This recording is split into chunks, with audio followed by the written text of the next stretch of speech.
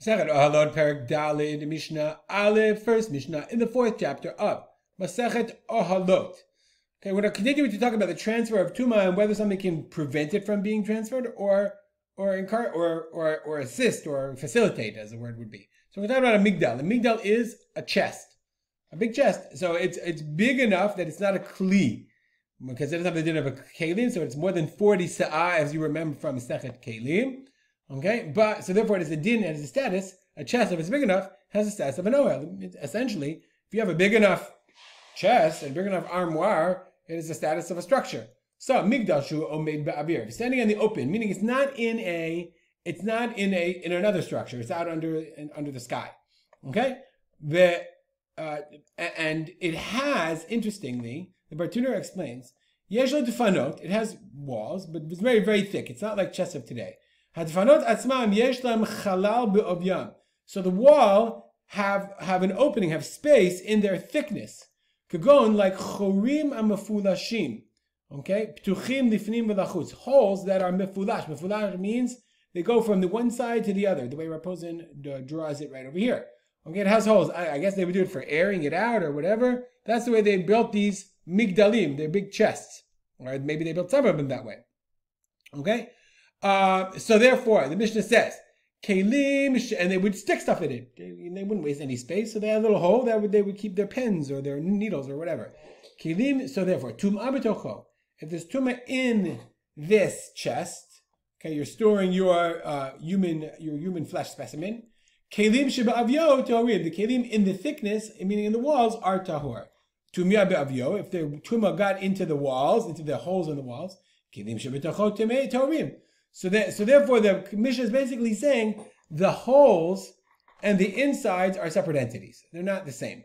Rabbi Yosef remember says, says no mechza lemechza, half out, half in. We don't we don't paskin though like Rabbi Yossi. Mishnah continues.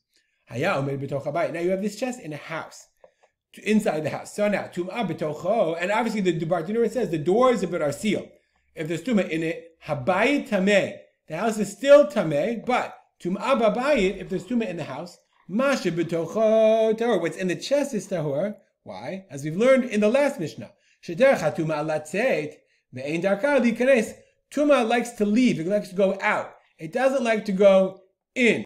So therefore, if you are, therefore, if tuma is inside of it, tuma is inside of it, the whole house is tameh. Because tuma is also in the house. But if tuma is here, then what's inside of it is not tameh. Tuma likes to leave.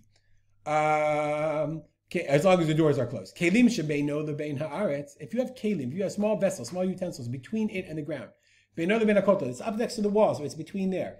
Shebeino the bein hakorot, or between that and the cord of the beams.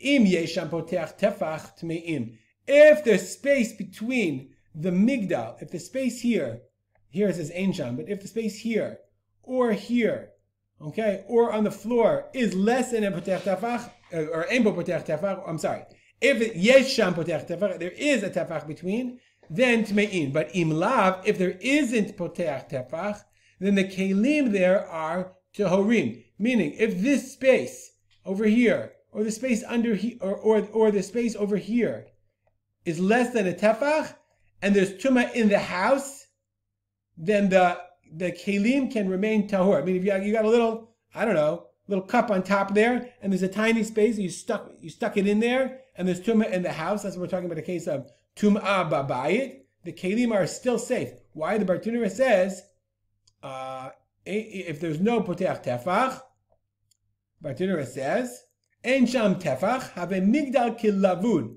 This is a very critical halacha term we learned also in in sukkah. Lavud means it's just like connected. It's like connected to the wall next to it, or the ceiling, or the floor. It's like one solid thing.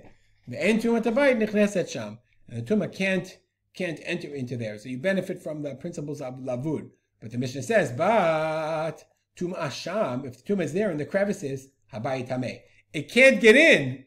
Tuma can't get in, but if the tum is here, tuma can get out. So the whole house then would be tameh. This is actually quite complicated Mishnah with a lot, a lot of different interpretations of the Eliyahu Rabbah, of the Tosfot Yom Tov, different interpretations which we're not going to go into because this is Mishnah Yomit. But obviously, you're strongly encouraged to pick up Mar'ot Chaim, learn the book, learn the pictures, learn them in Mefarshim, and go into it as deep as you as you can. We'll stop here, dedicate our learning to the memory of my father, Harav Simcha Ben Yitzchak Kalman. Make it a great day.